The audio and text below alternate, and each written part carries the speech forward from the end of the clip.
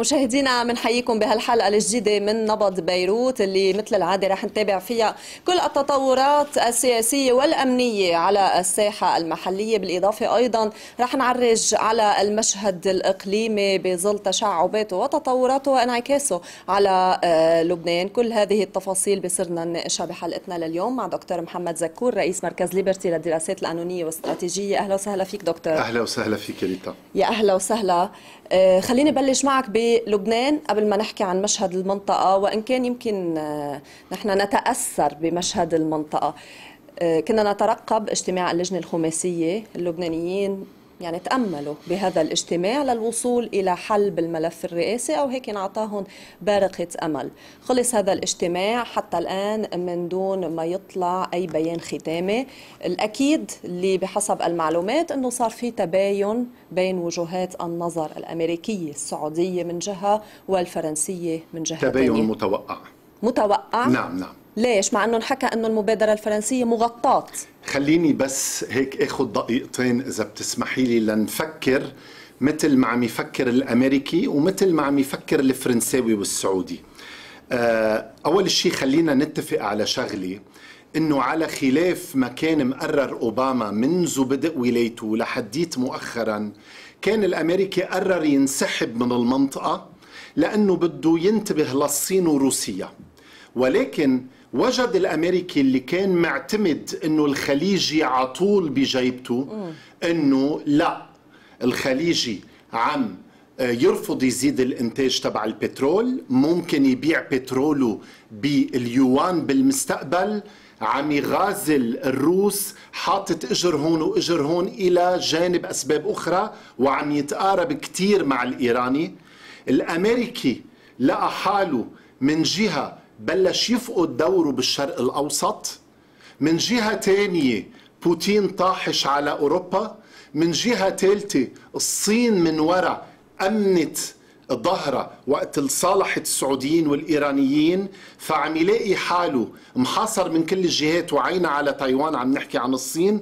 لهيك الأمريكي قرر يعمل انعطافه خطيرة إنه يرجع على المنطقة. ليرجع على المنطقة بده دور. نعم. الدور اللي عم ياخده هلا عم نشوف إرهاصاته. ب يلي تفضلتي وقلتي تمايز عن الموقف الفرنسي السعودي يلي هن بتقاطع مع الإيراني هيدا من جهة. من جهة تانية المشاكل اللي عم تصير بسوريا عم نشوف السويدة في تحذير أمريكي بعدم المس فيها. عم نشوف بالرقة ال- ال- المعارك ما بين الفصائل وقصد عم نشوف بالشرق من حد تركيا الجولاني كان متوقع يلي أخذ إدلب يوصل على حلب. رجعوا الأتراك سحبوه لورا. اذا الأمريكي بده يقول أنا هنا أنا مع تمرق رئيس ولكن من خلالي من خلال قطر تحديدا واسحاب إيدك يا لودريان أنا اللي بدي يكون مشرف على هالصفقة. اللي بخلينا نتفائل لاختم إنه الأمريكي والإيراني بحالة شهر عسل. أول شيء حرروا لهم 6 مليار. طيب تبادل متوقع إنهم يحرروا لهم الأموال بكوريا الجنوبية. ما صدر قرار عن مجلس المحافظين بالوكالة الدولية للطاقة الذرية ضد إيران تبادلوا السجناء خمسة بخمسة. الأمور ماشية كتير منيح مع الإيراني. إذا نحن منتفائل هون ولكن بعد عنا شوية وقت. هالوقت هو استبدال الفرنسي بالأمريكي والقطري. أوكي. بس دكتور لفتني خلال حديثك. حطيت السعودي إلى جانب الفرنسي والقطري إلى جانب الأمريكي. بوقت نحن بنسمع عن تناغم قطري سعودي يتعلق بالملف اللبناني وإنه القطري لا يتحرك على الساحة اللبنانية من دون آه، آه، يعني بالمخ يعني بالخلفية بيكون الموقف السعودي هو يعبر عن الموقف السعودي. هون عم تقلي إنه لا هيدا إلى جانب الأمريكي وهيدا إلى جانب الفرنسي. هو ليس بتمايز هن مش على خصومة ولكن نحن منعرف إنه قطر وأمريكا الولايات المتحدة الأمريكية علاقه وطيده جدا هنالك قواعد بقلب قطر القطري هالمرة على خلاف السابق مش حيستفز السعودي ولكن حيلعب هالدور اللي حيكلفوا فيه الأمريكي. وبالمناسبة السعودي أجده بقيادة بن سلمان ك آه، سياسة خارجية جديدة عم يلعب سياسة بذكاء. ريتا تعي نشوف شو عم يصير. اليوم نتيجة انكفاء السعودية سنين اللبنانيون والقوى اللبنانية عم تطالب السعودي بليز ارجعوا فوتوا وتدخلوا. صحيح. وفعلا بلشوا يطلوا ويجمعوا آه النواب السنة تحديدا المتفرقين. بركي بدهم البخاري وهن مباشرة يلعبوا الدور اللي كان يلعبه قديما سعد الحريري. هو الحقيقة في تشابك ملفات كتير ببعضها. الأمريكي والسعودي عندهم قطبة كتير مهمة اسمها التطبيع هلأ إذا إجا وقت بنحكي عنها. بهالوقت مجددا الأمريكي بده يفوت مباشرة على الساحة. دخل إلى سوريا وهو يدخل اليوم إلى لبنان. ومن شان هيك الأمريكان عم يقولوا نحن مش رضيانين عن شغل لودريان دكتور بس قلت لي بسياق الحديث السعودي أو آه، إلى جانب الفرنسي نعم. وضعته. بوقت آه، البعض قرأ. بزيارة العلولة إلى باريس والاجتماعات اللي عملها مع بعض النواب اللبنانيين بفرنسا. بالإضافة إلى لقاء اللي صار بدارة السفير السعودي بحضور المفتي والنواب السنة أنه على العكس سحبوا البساط من تحت إجرين لودريان. خليني أقول لك شغلة. الدول وقت اللي بتتعاطى مع بعضها البعض ما بتتعاطى بتناقضات بمعنى وأوقات بتتعاطى بتناقضات. يعني بمعنى وقت الدولة ما بتلعب دور لنقول آه، آه، آه، إيجابي أو سلبي بدولة أخرى أو بمجال دولة أخرى مش معناتها حتما هي على خصومة مع باقي الدول اللي عم تحاول إنها تلعب هالأدوار. خليني أسأل سؤال. هل اليوم السعودي والإيراني يتمايزوا جدا بملفات المنطقة أبدا. امبارح هيدي رمزية فريق النصر السعودي مم.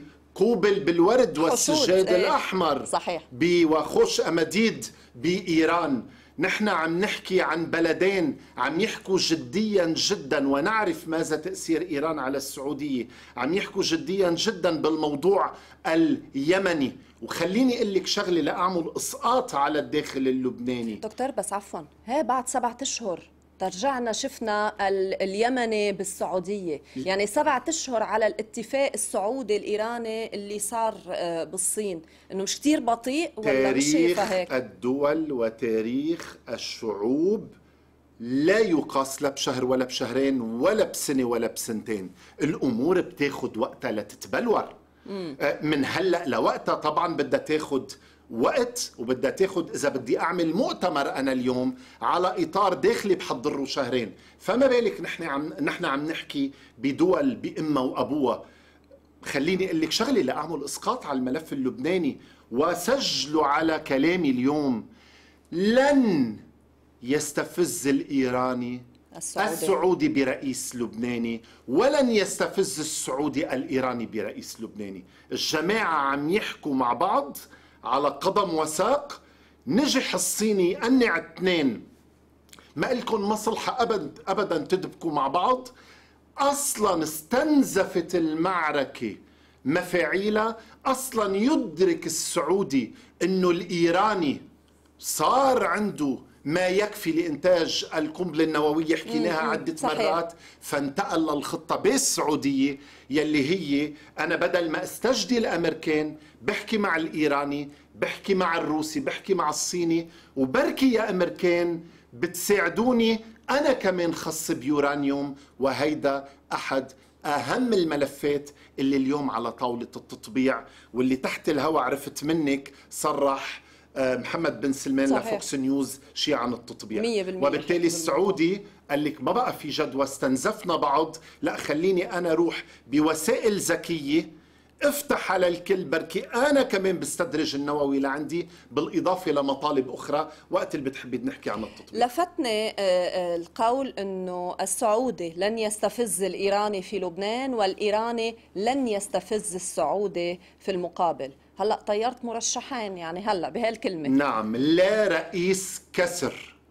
حيجي. ومين من كان؟ إذا بده يجي بده يكون برضا الطرفين. بمعنى قد يفسر هلا من كلامي إنه معناتها حتما فرنجية ما بيجي. ما بعرف وين بدهم يتقايضوا السعوديين والإيرانيين وبخلفيتهم الأعلى الأمريكان ببعض الملفات ممكن يقطع فرنجية ولا غيره. ولكن فرنجية لحديت هلأ وهلأ بنحكي داخليا عنده خط أحمر كبير مسيحي. بس قبل ما فوت على الداخل أجد الرئيس يلي بده يوصل يجب إنه يكون وفق المعطيات اللي عم نشوفها رئيس راضي عنه الطرفين. الإيراني والسعودي. والسعودي. طيب. من سيكون؟ بصراحة ما بعرف. okay هلأ بنناقش التفصيل الداخلي. بس أنا سؤالي إذا طالما حضرتك عم تحكي بجو إقليمي هذا الجو المرتاح اللي منه رايح لصدام برأيك على العكس عم تحكي عن شهر عسل بين آه الإيراني والسعودي. ونشهد أيامه. ممتاز. طالما هيك آه، ليش بعده حال الاستعصاء والإقفال التام بالملف اللبناني؟ نحن نتأثر بالإقليم آخر شيء حتما نحن انعكاس للإقليم سؤالك احتوى بطياته على الجواب الأمريكي. مش زعلان هو والإيراني عم حاول احكي بلغة مبسطة حكينا شو عطوا اثنيناتهم بعض واضح. بعضهم خليني أقول بايدن رايح على ولاية تانية بده إنجاز بالمنطقة وبالتالي كتير رضيان الأمريكي مع الإيراني مؤخرا ولكن الأمريكي انتقل بليز من سياسة التخفف بالمنطقة للعودة واعطاء لوكلاء لأنه كان بيعتبر إنه ال- الدول العربية على رأسها دول الخليج بجيبته إلى التورط مجددا والدخول مجددا لا ما مش الحل لقى إيران عم تبيع طيارات للروس والروس عم يغازلوا إيران نعم. مشان ما تبيع غازا لقى السعوديين مثل ما قلنا صاروا جاهزين يبيعوا بترولهم بال بال باليوان. لقى السعوديين فاتحين على الميلتين يرفض دول مجلس التعاون الخليجي يزيدوا من إنتاجهم بالنفط نعم. والغاز. بركي بيعوض قال لك لا أنا حأطلع بلا شيء لهيك رجع يفوت على المنطقة. بده تكون التسوية بإشرافه مش بإشراف الفرنسي. يلي متهم من زمان إنه قريبه بغازل الإيراني.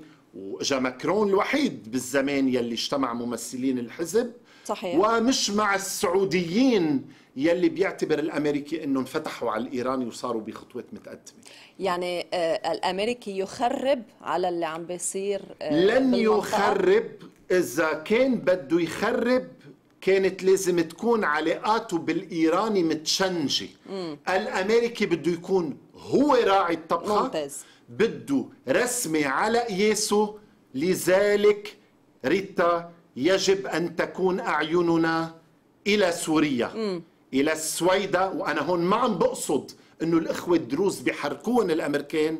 هن يلي قادوا الاستقلالات بالزمان وبالجاي. ولكن في خط أحمر على إنه إلى جانب أسباب أخرى إنه ندق بالسويدة مباشرة إلى جانب أسباب أخرى منها أنه النظام قدم حاله دائما حامل أقليات. نعم. عيننا على دير الزور واللي عم يصير بين قصد والفصائل. خلينا نسمع كتير من اليوم بالرايح باسم إبراهيم الهفل يلي هو قائد عشائر العقيدات يلي هلأ عم يقاتلوا قصد. وخلينا نشوف ليش الجولاني تحرير الشام رجع لورا ضبوا الأتراك بعد ما كان بالإضافة لأدلب رايح يوصل على حلب. الأمريكي يرسم مجددا. الأمريكي يرسم مجددا. مشان هيك شفنا فرملة للإندفاع على السعودية باتجاه سوريا. مليار بالمية إلى جانب سبب آخر لمس السوريون أنه الدول العربية كانت واعدتهم وعود كبيرة على أساس تدخل حيز التنفيذ منا فك الحصار منا إعادة الأعمار إلى آخره ووجدوا إنه لا نحن ما مننفذ ولا وعد من هول قبل ما تجي كلك يا سوريا لعنا. وهيدا يلي طبعا السوريين ما بدهم يعملوه. بوافقك الرأي فرملة وفرملة للمبادرات العمانية يلي كانت خير بالدنيا. مم. الأمريكي عم عيد حالي. نعم. مجددا ضيف الشرق الأوسط شخصيا ممتاز. وليس عبر وكلاء. إيه بس آه، اليوم ولو بين هلالين الرئيس السوري بشار الأسد بالصين. هيدي لها دلالاتها كمان. أه بتشوفها هالقد؟ أه الصين وروسيا هن من الدول اللي حضنت الرئيس بشار طبعا. الأسد والنظام. أنا ما بعطيها كثير أبعاد. أه الرجل بحاجة لأنه وبيفهموا الدول الأخرى أه يعمل أه أه جولاته الخارجية. بركي لفك العزلة من جهة من جهة تانية. الرجل بحاجة لفك الأزمة الاقتصادية بالداخل آه، الرجل بحاجة لملفات كبيرة منها إعادة الإعمار ولذلك حنط على الموضوع اللي عم نعيشه يضغط النظام السوري بورقة النزوح, النزوح السوري وحركات الهجرة يلي عم نشوفها مؤخرا وهيدي شغلة خطيرة كمان وقت اللي بنوصل عليها بنحكي فيها. أكيد. هلأ بما أنه فندنا المشهد الإقليمي المحيط بالمشهد الرئاسي خلينا نفوت إلى تفاصيل المشهد الرئاسي وإن كان اللي حكيته بملف النزوح كثير مهم. هلأ بدي أرجع له بسياق حلقتنا. إذا بدنا هيك نسقط اللي حكيته إقليميا على المشهد الداخلي ونقرشه لأنه هيك آه، لمصلحة مين؟ يعني اليوم واضح جدا من آخر زيارة أصلا للودريان أنه الرجل بلش يحكي عودة إلى نقطة الصفر. آه، تضاءلت برأي كتار حظوظ سليمان فرنجية بالوصول. لما بنحكي نقطة صفر يعني بنحكي لا سليمان فرنجية ولا جهاد أزعور بما أنه كل واحد منهم مثل طرف بجلسة 14 حزيران. لابد من التوجه إلى مرشح ثالث. القطري اليوم يجول في بيروت. بالكواليس يحكى أنه مرشح القطريين هو قائد الجيش. ولكن هل قائد الجيش هو هذا الطرف الثالث الخيار الثالث ولا هو أيضا أصبح بالنسبة للبعض فريق؟ أحد أبرز الشخصيات الثالثة قائد الجيش. ولكن خلينا نقول شغلة. طبعا بنرجع عود على بدء. جميع القوى الداخلية بانتظار الانفراجة الإقليمية والدولية اللي فصلنا فيها. نعم. إذا بدي أحكي بالملف الداخلي خلينا نكون واقعيين ونحكي أنه آه وقبل ما أدخل بهالإطار أنا جدا حزين.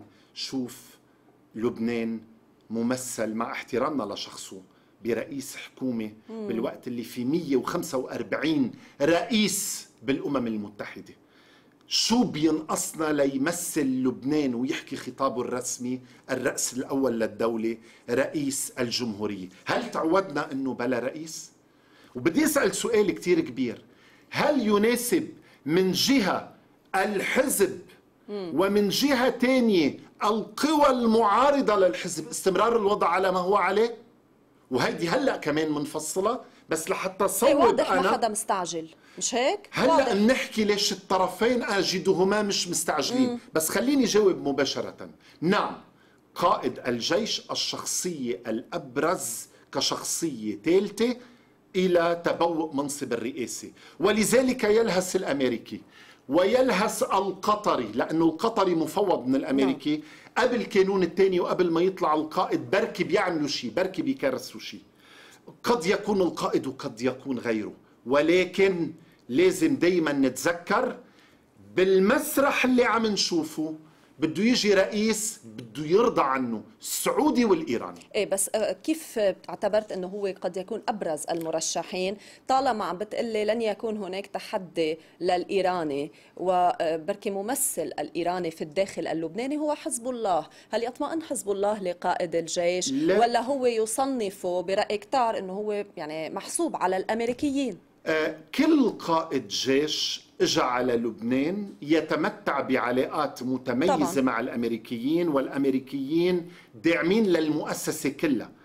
هل المرشح الأفضل والمدلل عند الحزب قائد الجيش؟ لا. ولكن هل الحزب عنده هاجس مخيف من قائد الجيش بلحظة تسوية ما وقت المنحط الضمانات المتبادلة؟ أكيد لا.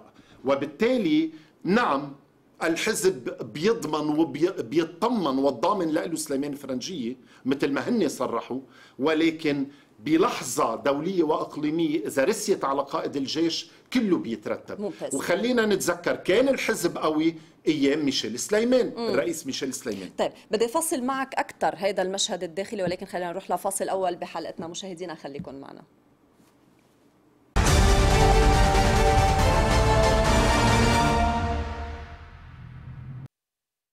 عودة مشاهدينا لمتابعة هذه الحلقة. دكتور زكور نرجع بنرحب فيك. فيك. بدي انطلق من اللي كنت عم بتقوله إنه حزب الله بلحظة تسوية معينة آه، آه، ممكن ما يكون عنده هذا الفيتو على قائد الجيش. هلأ هون صار في آه، عدة أمور طرحت علامة استفهام من بينها لقاء النائب محمد رعد رئيس كتلة الوفاء للمقاومة بقائد الجيش. بس في أمر ثاني إنه من بعد زيارة لودريان لمسنا تشدد من قبل الثنائي وتحديدا حزب الله بموضوع سليمان فرنجية يعني من بعد ما انحكى أنه حزب الله يفتح الباب على إمكانية تسوية تتعلق بقائد الجيش من خلال هذا اللقاء رجع طلع محمد رعد إلى بنشعي طبعا. وطلعت كل المصادر لتنفي هذا الجو لتؤكد أنه لو استمر الفراغ عشر سنين نحن مرشحنا سليمان فرنجية خلينا نقول شغلة آه، آه، حزب الله مش من صدفة بعت محمد رعد النائب محمد رعد لعند سليمان فرنجية وهي كانت زيارة تطمين وإنه ما يتفسر زيارتنا لقائد الجيش بأي شيء. وخلينا نقول شغلة أبعد. لا يستطيع الثنائي إذا أنا بدي أحط حالي محل الثنائي إنه يحكي بمرشح غير سليمان فرنجية إلا بلحظة الحسم والتسوية النهائية. لأنه من مجرد يبدي ويقول أنا وارد عندي النقاش على أسماء أخرى بيكونها فرنجية. وبالتالي اليوم وبكرة وبعده الحزب حيدل متمسك والثنائي بسليمان فرنجيه هل من مصلحة أو عفوا هل يضر الحزب كتير استمرار الشغور أو يمانع الحزب باستمرار الشغور؟ وإلا رئيس بمواصفاته أجد أنه لا. بنفس الوقت هل يضر القوى المعارضة للحزب واللي خطابها ضد الحزب مباشرة باستمرار الشغور أحسن من أنه يجي رئيس بالنسبة لهم حليف للحزب كمان أجدهم يفضلون الشغور. أول شيء خليني أحكي بالنسبة للحزب الحزب ورقة تصريف الأعمال وحكومة تصريف الأعمال مكموشة صح وفق توازن ووفق مبادئ وخطوط حمر. وبالتالي ماشي البلد بالنسبة لهم نعم. اثنين أمنيا وسياسيا نحن عم نحكي هو الأقوى. ثلاثة بلعبة العد ممسك بورقة التعطيل. ما ممكن نتوقع أنه يجي رئيس آه، آه، آه، رغما عنه أربعة يدرك الحزب أنه لم تأتي بعد اللحظة النهائية إذا بده يكون في تسوية على غير سليمان الفرنجية. وبالتالي براهن الحزب أنه خليني أنا عم بمسك ورقة التعطيل وخلي البلد مثل ما هو لحديت ما يخضع الآخرون. ولكن القوى الأخرى كتائب قوات الخطاب إيه كيف المعادي. كيف مستفيدة قلت لي من الشغور أو لا تمانع استمرار الشغور أجد تلك القوى بالنسبة إلى أمام لحظة تاريخية. شو عم تقلك هيدي القوى؟ أنا إذا بده يجي رئيس مثل سليمان فرنجيه أكيد ما لي مصلحة. أي رئيس تاني بلون الحزب أكيد ما لي مصلحة. اذا فليكون الشغور بركي بقدر انتقل على نظام جديد ما بعرف باقصاه بطموحات البعض وما بتهم كتار. الفيدرالية باقله اللامركزيه أو تكريس وضع جديد.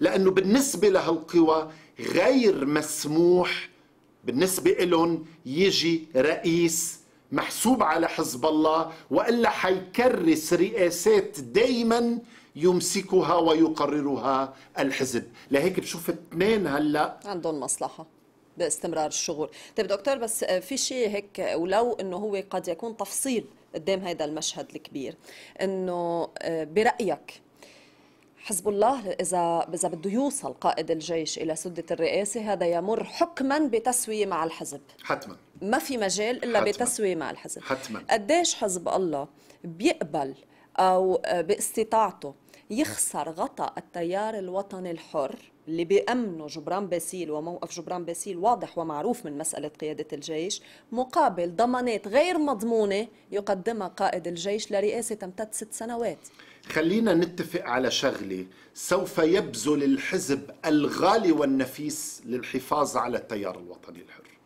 وأجد التيار الوطني الحر سوف يبذل الغالي والنفيس للحفاظ على تحالفه مع الحزب.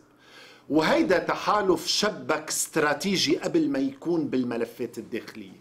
هلا هل جبران باسيل بده مثل ما قال عدة مرات ياخد مكاسب كبيرة بالنسبة له من الصندوق السيادي من اللامركزية المالية والإدارية الموسعة. وقال ساعتها ممكن تختبروا كرمنا بموضوع الرئاسة. صح. ما بعرف وين بدها توصل بس اللي بعرفه امبارح واليوم وبكرة في لقاءات مكثفة لا يذللوا العقبات التيارين أو لاقول التيار الوطني والحزب, والحزب. ولا أجدهما حيروحوا لمطرح الكسر. جوابا على سؤالك مباشر لن يزعل الحزب جبران باسيل ولن يخرج جبران باسيل من التحالف الاستراتيجي وشحطين تحت كلمة استراتيجي مع الحزب. ممتاز. بناء لهذا الشيء خلينا نمشي بفرضية. فرضا مش الحال بهذين القانونين الصندوق الائتماني ولا مركزية الإدارية والمالية. وهلا بدي أشوف قديش باقي المكونات ممكن تمشي أو قديش يلائم المكون الشيعي حزب الله والثنائي تحديدا أنه يعطوا هذه المطالب. بس خلينا نمشي بفرضية.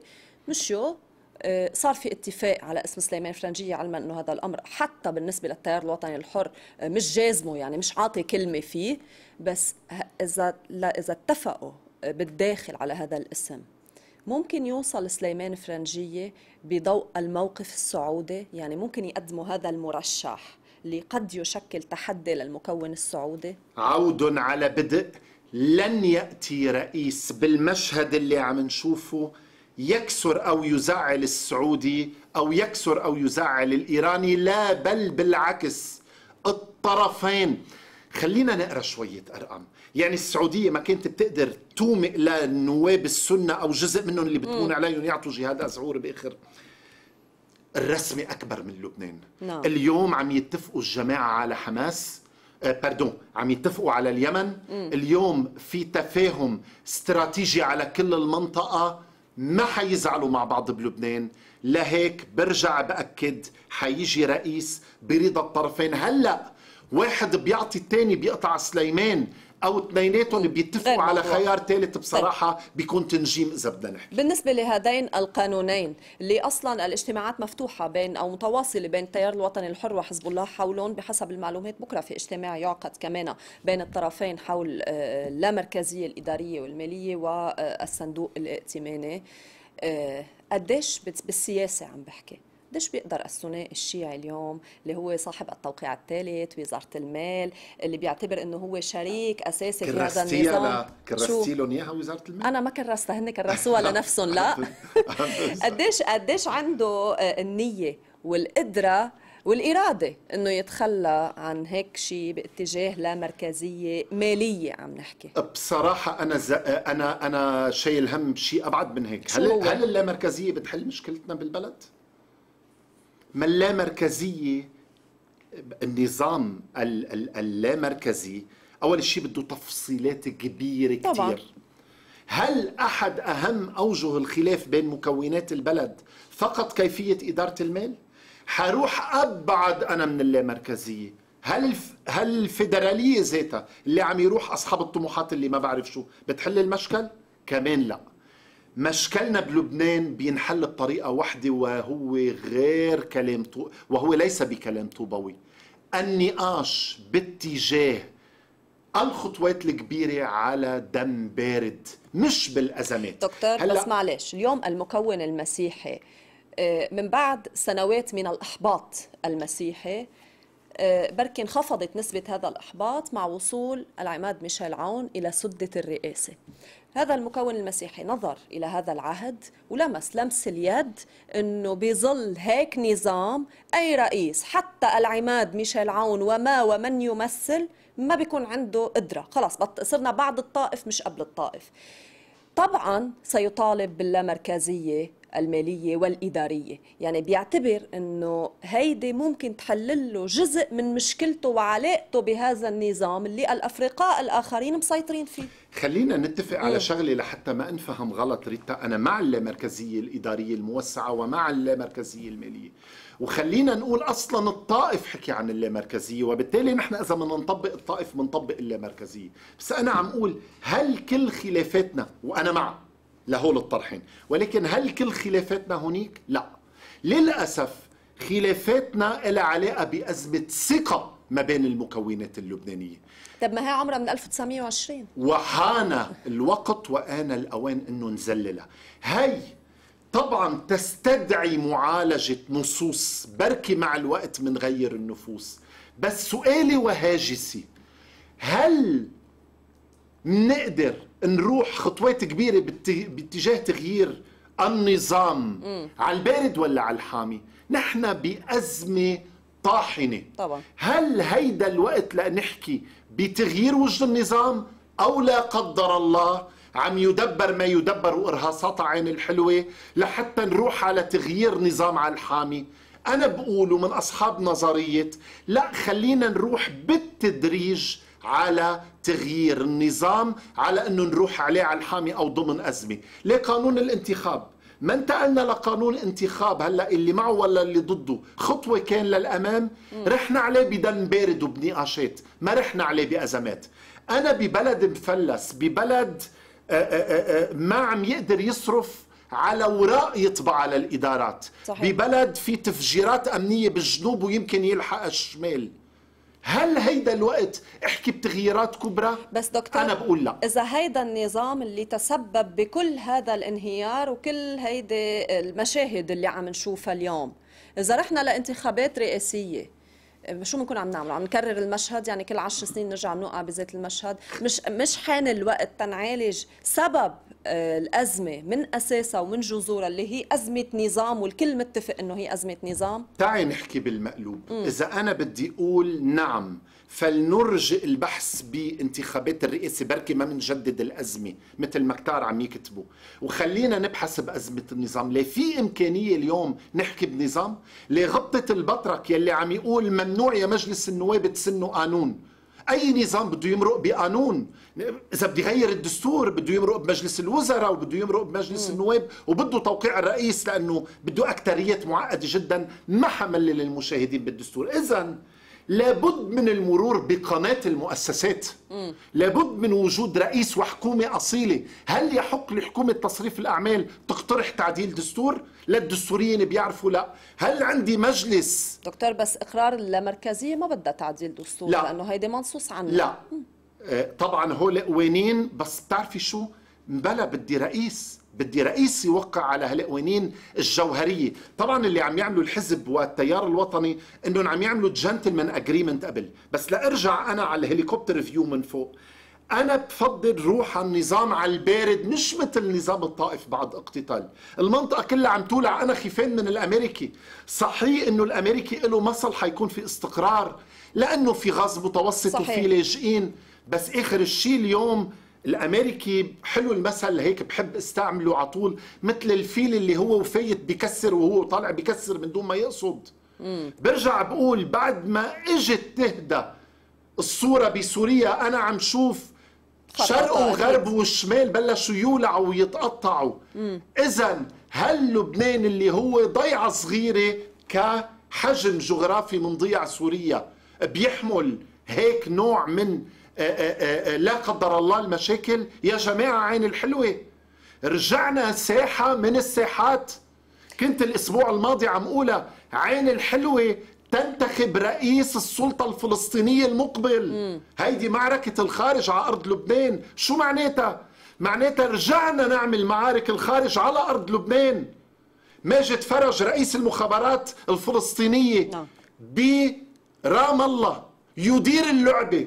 عزام الأحمد ممثل فتح ما عم يطلع بإيده شيء أبو مرزوق موسى أبو مرزوق نزل أنا الأسبوع الماضي كنت عم بحكي مع زميل لإلك آآ آآ آآ على إحدى الشاشات كنت عم أقول إنه موسى أبو مرزوق قال ما بعرف إذا في طابور خامس. قريت تصريحه امبارح علنا عم يتهم حماس إنه هي ورا الإخوان المسلمين جوا. اذا الانتخابات الفلسطينية رجعت تمرق بلبنان. دفعنا الفاتورة.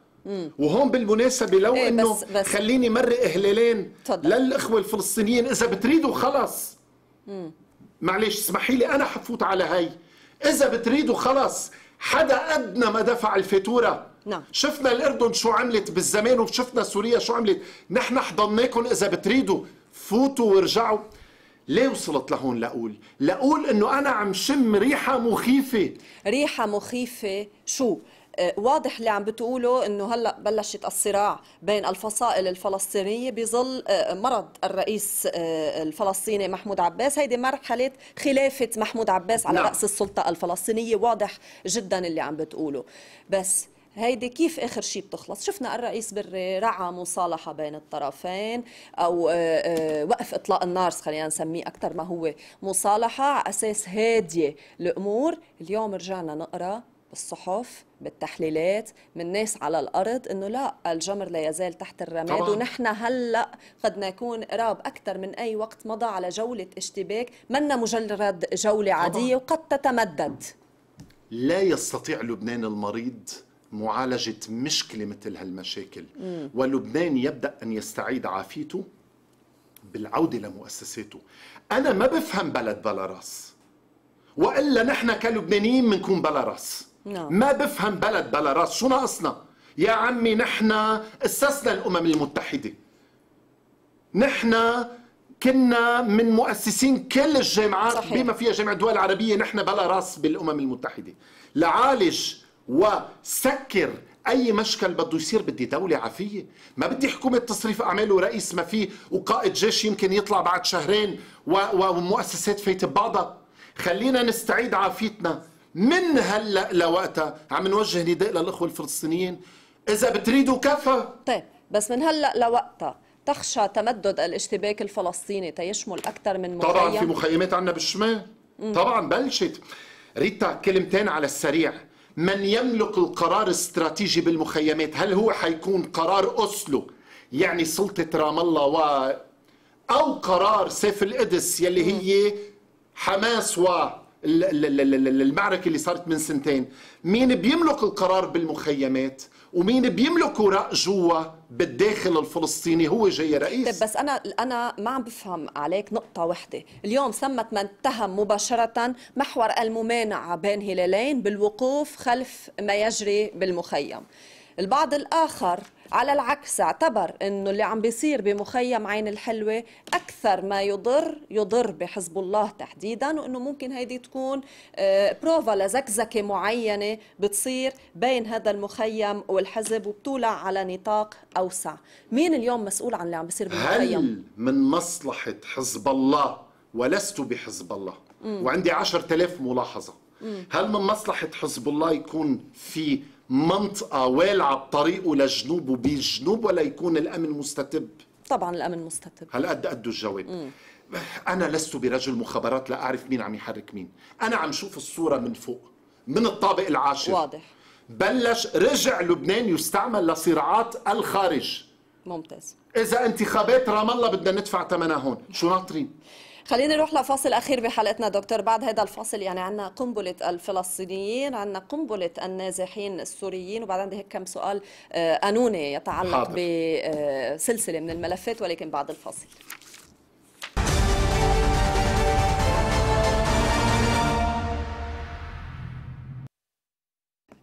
رجعنا لكم مشاهدينا دكتور زكور نرجع بنرحب فيك معنا. أهلا فيكي. آه، بدي أتابع شوي بالملفات الأمنية. قبل ما أروح إلى ملف النزوح السوري قبل شوي ربطته إنه ورقة ضغط يستعملها الرئيس السوري طبعاً. بشار الأسد. كيف يعني؟ أول شيء أحد أهم أوراق الضغط اللي بإيد الرئيس السوري تجاه الأوروبيين وتجاه المجتمع الدولي وتجاه الأمريكان هن اللاجئين. آه، قرينا من يومين قبرص حذرت إنه صحيح. لبنان آخر سد منيع. وبالتالي الأوروبيين المأزومين اقتصاديا آه، في في في هجرة اطباء بإنجلترا. بفرنسا ماكرون ما عم يقدر يعلي راسه من الأزمات. آه، أزمة روسيا أوكرانيا يلي هلأ بلشت تجوع أوروبا ما بقى بيحملوا وبالتالي آه، آه، يدرك الرئيس بشار الأسد هالشيء اثنين بيعرف تماما أنه حتى الدول العربية خيفانة من توافد الأعداد عليها. دول الطوق استووا إسرائيل ما بتقدر الكيان الإسرائيلي ما بيحمل وبالتالي إيه ليه بده يحل الورقة؟ أعطوني إعادة أعمار. أعطوني مكاسب بالسياسة. أعطوني فك عزلة. آه هيدي ورقة ضاغطة كتير لحتى أحكي معكم. بركي يا لبنان مع إني أنا ضد التعبير. سوريا حتبقى للأبد جارة وشقيقة بمعزل عن خلافاتنا مع النظام ولا مع غيره. بدي طبع مع لبنان أو طبعوا معي اللبنانيين. فالرئيس السوري مستفيد كتير. الأمريكان مستفيدين لأنه هو ضغط بالمقابل بالرأي العام الدولي والسياسي على نظام ما نستقل إنه نظام اليوم نص شعبه صار برا. المنظمات الدولية وما أدراك ما شبكة المصالح وقدر طبعاً. شبكة المصالح وتبادل والأموال اللي عم تندفع. كتار كتير الأطراف يلي ما لهم مصلحة ينحل هالمشكل دكتور. وللأسف يلي عم يدفع الثمن لبنان. ما هي هي اللي بدي أقول لك إياه إنه نحن قدام كل هيدا المشهد إنه شو قاعدين عم نعمل؟ قاعدين عم نتفرج على آه، توافد الآلاف من السوريين يوميا عبر المعابر غير الشرعية وعاملين حرس آه، بحري لأوروبا يعني هيدا بس يعني نحن قلت لي بشار الأسد لعب ورقته. الرئيس التركي شفناه لعب ورقته بهيدا المجال بموضوع النازحين نحن كلبنان ليش ما بنسترجي نلعب هيدي الورقة ويروحوا على أوروبا؟ لبنان عاجز عن إنه يخلي المجتمع الدولي يدفع مصاري. وشوفي ما أوقح الأمريك المندوبة الأمريكية يلي قالت كفاكم تبتزوا المجتمع الدولي. لبنان عاجز عن ضبط حدوده ولبنان عاجز ليه؟ لسبب أو لآخر لأنه قال قائد الجيش خلينا نكون واقعيين نحن شو عديد جيشنا؟ عندنا 320 بس كيلومتر. ولا لأنه في طموحات دكتور ولا أحد يجرؤ على معاندة الخارج وإرادة الخارج. قد يكون هيدي من الأسباب ولكن خليني أنا بمعزل عن اللي قلتيه قول كعديد جيش وكمعدات ولوجستيا حدود كتير طويلة ما بتنضبط. طيب كيف ضابطين البحر؟ آه، أوكي. ال- الفوتة اللي طلع من البحر عبر نقاط معينة وأنا لست بعسكري حكما بدها تمرق بنقاط معينة بخلجان أساسية. وبرضه عم نشوف بعثات أو نعم. مثل ما بيقولوا رحلات نزوح. ولكن الطريق البرية حتما أصعب بكثير طبعاً. بس خليني أنا بس آه، دكتور كفي بس معلش. ولبنان. مأزوم عم يقدر يحاور السوريين؟ الحمد لله. بس هون السؤال. نحن ليش ما بنلعب نفس اللعبة أنا معك. اللي لعبها إردوغان بهيدا الموضوع؟ أنا مع. و- افتحوا البحر. أنا مع. آه آه أوكي. ليه بدنا نعمل حرس يعني بدنا نعمل حرس حدود لأوروبا؟ نحن؟ الملاحظة الوحيدة اللي حاططها على هالورقة أو روحوا حاوروا السوريين يلي هن المفروض يكونوا جديين جدا إذا كانوا جديين وإذا منهم جديين لنشوف شو بدنا نعمل أو افتحوا البحر. خلي الأوروبي يسكت المندوبة الأمريكية الوقحة يلي طلعت قالت كفاكن يا لبنان ابتزاز. نحن عم نبتز ما نحن الوحيدين اللي دافعين الفاتورة. صحيح. وللأسف نحن عملناه بحالنا معلش ما لقني على ال OTV. اتهم بوقتها الوزير باسيل إنه عنصري رجعنا نكرر كل الرواية من بعده. هيدي وحدة. اثنين كلياتنا لعبنا بالورقة السورية وحاولنا نتاجر ب أول ال 2011 ل 2004 وشفنا الوفود طالعة ونازله وفتحنا حدودنا. اليوم حلنا نعرف نحل هالمشكل لأن معلش ما بقى؟ الأمور خافية. كتار كتير من العيال السورية عم تقطع الحدود تقبض وترجع تفوت. صحيح. اليوم نجيب المئاتي عجبني كتير كلامه هو وغبطة البطرك. غبطة البطرك قال نحن مع مساعدتهم بأراضيهم. ونجيب المئاتي قال الرئيس مئاتي نحن مع مساعدتهم بأراضيهم. بركي بنبلش من هون نحكي خطاب ونعلي السقف يا أما مثل ما قلتي ريتا افتحوا البحر. الرئيس مئاتي اللي مرتبط بمصالح آه، عنده مصالحه الخاصة يعني بالخارج يعني قادر على تحدي إرادة الدولية اللي هي كلها تتحدث عن دمج النازحين؟ أنا ما عم بحكي عن الرئيس مئاتي كمحمد نجيب مئاتي. لا بس نحن عم نحكي عنه رئيس حكومة. أوكي. صحيح حكومة تصريف أعمال بس في سلطة تنفيذية وفي سلطة تشريعية. رأس الدولة غائب. شو المطلوب من هودي السلطتين يعملوه؟ وليش بعد ما عملوه؟ وهل صحيح أنه مصالحهم الخاصة هي اللي بتمنعهم والخوف من العقوبات أنهم يعملوه؟ حتما الخوف من إيه. العقوبات بتمنع ولكن يعني أنا بس بالأفراح يعني. حتما الخوف من العقوبات بتمنع ولكن أنا عم بحكي على هالخطاب. فعلا حلنا نقول ما بقى تجوا حلنا نقول إنه في كتار كتير من السوريين عم تروح وتجي وآلاف مؤلفه انتخبت الرئيس السوري بشار الأسد. إذا بتريدوا وضعوا حد لهالمهزلة ولا مجددا افتحوا هددوا بفتح البحر. م. الأوروبيين هددونا بعقوبات. إذا بنحكي كلمة بموضوع اللاجئين السوريين لأن فهم كتير صح. أنا ما مع إنه أبعت السوري لهلاك ولا سمح طبعا الله. لا. ولكن يا عمي في ناس عم تفوت وترجع تطلع. أنا شخصيا بعرفها. مم. عم تفوت لهون أنا أحد الأشخاص. قال لي قال لي رحت اشتغلت هونيك ما قدرت تقتل الحياة ورجعت. يعني معناتها عم تفوت وتطلع. مم. لازم بقى ضبط هالموضوع. ما بقى بنحمل إلى جانب أغلاطنا الكبيرة جزء أهم أحد أهم أسباب مشاكلنا الاقتصادية العبء. عبء النزوح السوري. أما موضوع الاندماج فاسمحي لي أني أحكي كلمتين لأني عم بقرأ كتير أقلام عم تقول توطين السوريين تجنيس السوريين رقوا علينا. إنه في مئات ألوف الولادات من دون قيود رقوا علينا. أول شيء ما حدا بيرضى بهيك شيء. إن رضينا للفلسطيني بنرضى للسوري. واحد. اثنين بالقانون الدولي بتكتسبي الجنسية أو ب حق الولادة أو بأنك تعيشي بالبلد أو بالولادة يعني بحق الدم. نعم. وبالتالي حتى يلي عم يخلق ما عنده قيد أو مكتوب القيد ولكن هو لابوين سوريين. نعم. وبالتالي هيني جدا ياخذ الجنسية. أنا كمحامي بقول لك جيبي لي ولد مش مزوج. إذا عنده أم وبي بنعمل له إثبات زواج وبنعمل له قيد مولود على خانه والده. من هون نحن بنقول بدها تعاون. كتير حسيس ما بين الدولتين والأمنين العامين اللبناني والسوري لحتى نحل هول أما كلام إنه بدهم يجنسون وبدهم يوطنون كفى اللبنانيين رعب. وهذا كلام ما له أي أساس قانوني. كلام حدا ما لقي شو بده يكتب قام كتب معي دكتور بس منه تهويل فقط مثل ما عم بتقول حضرتك؟ لأنه مسؤولين أوروبيين طلعوا وحكيوا عن دمج النازحين السوريين. خلينا نقول ما معنى دمج. دمج معناتها وخصوصا حتى بموضوع التعليم والتربية طبعا. والتعليم دمج معناتها لحين حل الأزمة ما تكونوا عاملين يا لبنانيين فصل عنصري مدرسة قبل الظهر ومدرسة بعد الظهر نعم ولكن تجنيسهم أو توطينهم انسي. ليش الدمج مش مقدمة للتجنيس أو التوطين؟ لا لأنه في عندي ولد أمه وأبوه سوريين وأرضهم موجودة. أنا ما عم بحكي عن لاجئ فلسطيني سلبت منه أرضه ممنوع يفوت عليها. م. لا بيطلع الرئيس السوري صبح وظهر وعشية عن حق ولا عن غير حق؟ معه حق ولا لا؟ صادق ولا غير صادق بكلامه عم يقول تفضلوا ارجعوا. ما عم بحكي عن حدا محروم يرجع على بلده. لأنه كتار عم يقولوا إيه ما في ولادات ما عندها قيود. إيه وإذا شو هالحكي؟ طيب.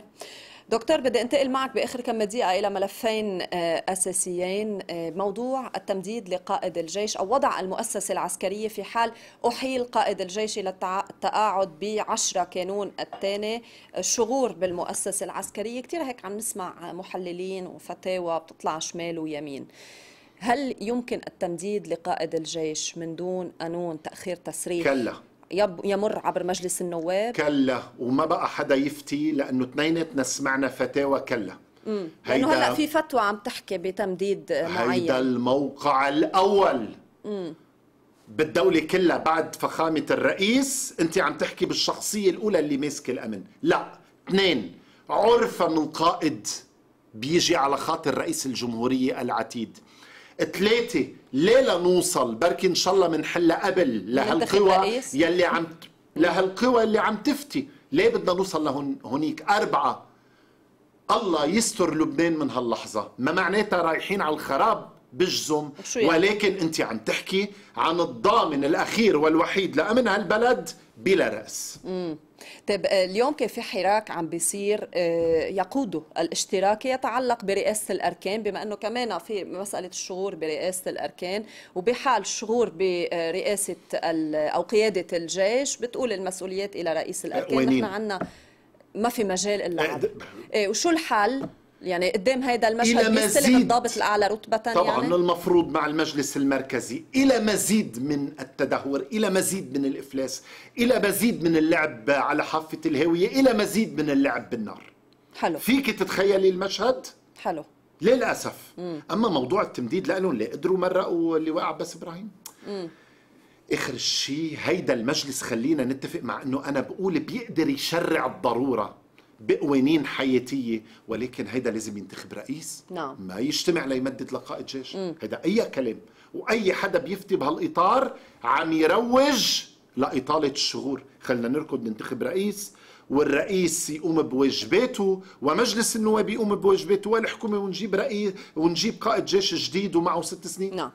دكتور آخر ملف هو هلا وسط كل هالملفات الملتهبة. يعني كان عندنا بارقة أمل تتعلق بهالتنقيب اللي بلش بالبلوك رقم تسعة. آه، في مشهدين متناقضين. يا ريت هيك تشرح لنا إياهم لأنه أنا صراحة ماني فاهمتهم.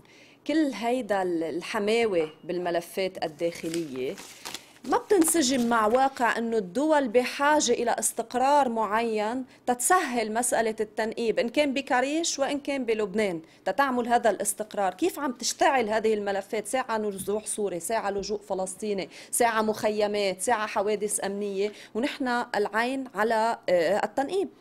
أول شيء هيدا الملف بالنسبة لي كلبناني شوي بيطمني وبحس إنه لا مصلحة الدول الكبرى مم. على رأس الولايات المتحدة يلي الأوروبيين عم ينقوا عليها بدنا غاز غير غاز بوتين. مصلحة الأوروبيين يلي آه ضقوا إيدهم على صدرهم وقالوا بال 2027 سوف نتحرر من غاز آه آه روسيا. مصلحة الكل إنه يكون في استقرار لأنه الكل ملهلب على غاز المتوسط. عم نستغرب ليه ماكرون عم ينتحر بلبنان وموفدين أكل كفه بأستراليا بصفقة الغواصات الشهيرة وعم يفقد الدول بأفريقيا وبالانقلابات اللي عم تصير فحتما بحاجة ماسة لهم هلأ بتقولي لي ولكن في ملفات مشتعلة مثل العين الحلوة أو السوريين اللي عم يفوتوا هي سقوف أنا ما برضى فيها وما بسمح فيها ولا برضى انها تكون كمواطن ولكن بعدها ضمن اللعبة المضبوطة. آه أوكي. حتى في قراءات لفوت يعني على عين يعني في انزلاق خطير. حتى لفوت شوي على عين الحلوة كلمة سريعة. أحد التحليلات بتقلك والمعلومات إنه الجيش ما فات لجوا بالنسبة لموضوع اخوان المسلمون لأنه نعرف نحن إنه الجيش داعم لفتح لو بغض النظر انها تخلص المعركة. لأنه الجيش عنده معلومات إنه هي فصائل كل 15 واحد اليوم وحدهم الحرب ولكن هلأ ما يكون في معارك كل واحد لوحده. وبالتالي لا اللعبة الأمنية نوعا ما ما لا سمح الله راحت على تفجير كامل. ولكن هل معناته ندل أبد الأبدين؟ أمين لا. لأن ما حدا بتاريخ الحروب قرر ينزل إلى حرب كبيرة. وقت اللي بتوقع الحرب على طول بقولها الكل بيجي يستثمر فيها. ممتاز. يسمح للبنان أنه يتحول هيدا الحلم الدولة النفطية ويلعب هيدا الدور بالمنطقة؟ سوف يسمح للبنان مش حبا للبنان. لبنان من ال 59 بيعرف لأنه هن بحاجة لهالأنبوب اللي حيطلع من فلسطين المحتلة على الشواطئ اللبنانية على الشواطئ السورية ويطلع لبرا. الأوروبيون ما بقى يحطوا رقبتهم بإيد بوتين. آه، الأمريكان ما بدهم الرهان فقط على النفط الإيراني وواضح مجلس التعاون الخليجي ما عم يعطي الأمريكان اللي بدهم إياه. فوين بلاقي روافد إضافية مطلوب؟ لمصلحتهم مش لمصلحتنا أو حبا فينا. بس مساقبه حتتقاطع مع مصلحتنا. الحمد لله.